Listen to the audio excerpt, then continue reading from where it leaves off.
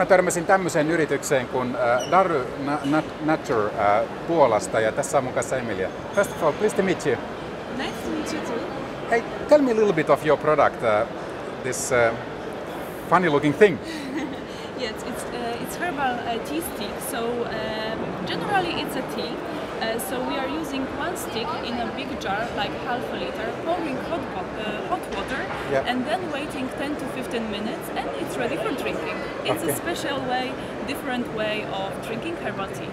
Okay, and uh, th- this is brand new product, right?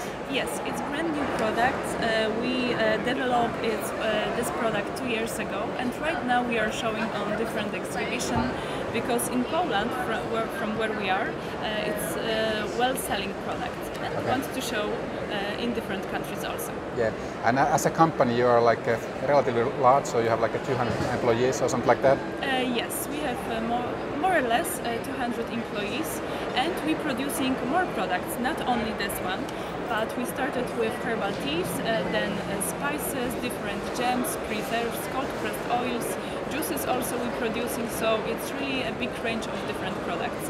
Uh, 100% organic, all of them. Okay, hey, uh, thanks for the interview, and I wish good luck with the business. Thank you so much.